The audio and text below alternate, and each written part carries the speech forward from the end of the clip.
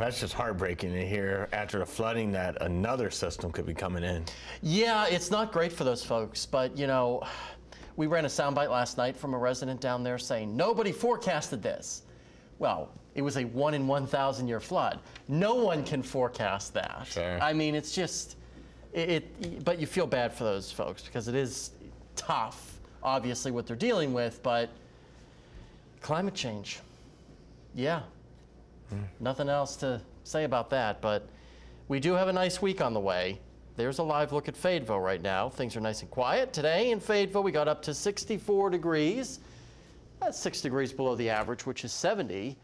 Chilly morning though, 43 degrees, two degrees shy, which is 45 for this time of the year. There's a look at Fort Smith right now. Things are all lit up. We got up to 69 degrees, six degrees below average. And this will be the only below average day of the week because temperatures will immediately start to warm up as we, as we kick off our Monday. Here's a look at the latest pollen numbers, courtesy of Hedberg Allergy in Rogers.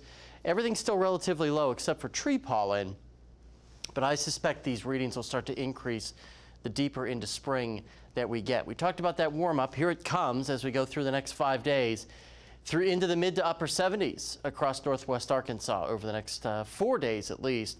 Then a front will come through and knock our temperatures back down on Friday. River Valley up to 80 on Tuesday and uh, for the most part very warm and very comfortable.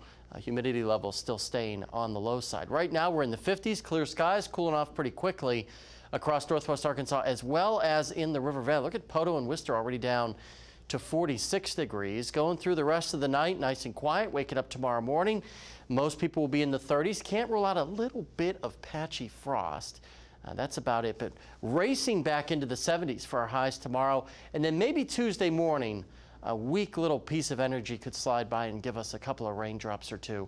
The bigger story comes Thursday, uh, Thursday afternoon or so, with a better chance for strong to severe storms again.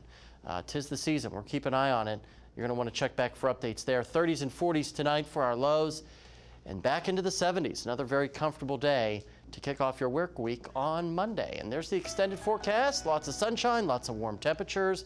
A couple of sprinkles possible on Wednesday. As I said, the better chance for rain arrives on Thursday with the potential for widespread showers and storms. Uh, just an impact day for now, but we'll keep an eye on everything. River Valley feel about the same thing, up to 80 on Tuesday. Some storminess Thursday, and then we cool down by the time we get to next weekend.